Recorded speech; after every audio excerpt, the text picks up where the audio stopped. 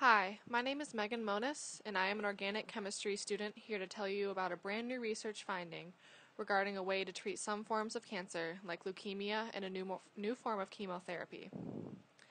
These research findings involve the discovery that inhibitors are used to block MCL1 proteins by fastening to their binding site. MCL1 proteins are one of the possible proteins that can be coded for with the MCL1 gene. This protein is involved in enhancing cell survival by blocking healthy apoptosis.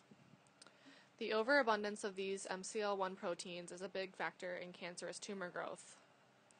The inhibitors used to block the MCL1 proteins from binding to one another and other, and other molecules, disallowing them to bound, bind with other proteins that trigger apoptosis in a healthy cell, are providing substantial improvements within rat populations for regulating the apoptosis that normally occurs in healthy cells with MCL1 proteins.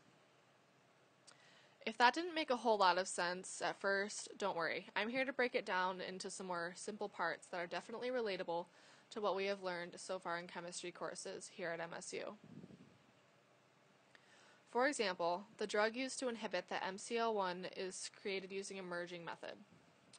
Due to the fact that the drug possesses a carboxylic acid that interacts with a single amino acid within the MCL1 protein binding site. The structure of a carboxylic acid looks like this. This carboxylic acid is essential when interacting with the MCL1 protein.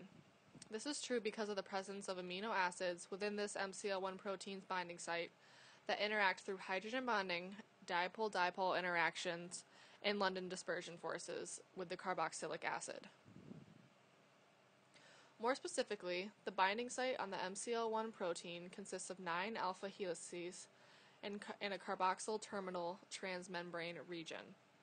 If you are not familiar with a C-terminal, they are at the ends of an amino acid chain terminated with a free carboxyl group. The structure of the binding site being SO facilitates the binding of the protein to the drug via the assistance of similar molecules, carboxylic acids, binding to one another via strong interactions, aka hydrogen bonding.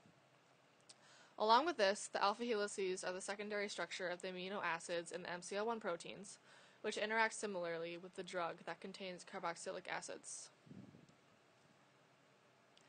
An amino acid has a structure that looks like this.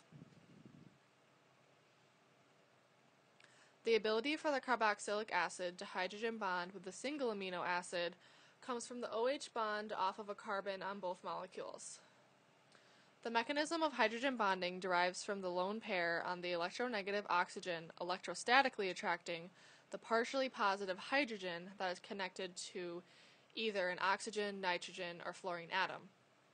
In this case, the hydrogen is bonded to an electronegative oxygen, that pulls in the electrons closer to its core, creating a partially positive charge on that hydrogen atom. The hydrogen bonding model looks like this. As you can see here, in a classic carboxylic hydrogen bonding interaction, which I'm sure you have seen before, the partially negative oxygen and partially positive hydrogen are forming tight interactions with one another. Whenever hydrogen bonds are present, so are dipole-dipole interactions and London dispersion forces. Dipole-dipole interactions occur due to the partially positive and partially negative charges on the atoms within a molecule, and this is due to difference in electronegativity. London dispersion forces are present due to the instantaneous dipole that occurs in one molecule when two neutral substances approach one another, causing an induced dipole in the next molecule over, allowing them to attract when the electrons and positive nuclei are interacting. Through each of these crucial interactions between inhibitor drug and MCL1 protein, there is a strong connection at the protein's binding site that ensures the function is inhibited and healthy apoptosis will occur more often. This interaction between the drug and the MCL1 protein allows the drug to inhibit the MCL1 from binding with itself and other molecules within a human cell.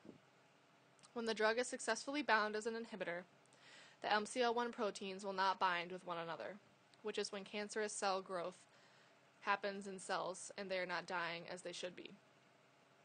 Overall, the introduction of these findings due to the research are pivotal is a pivotal moment in history and can be broken down into the simple molecule to molecule interactions that in turn affect functionality of different proteins in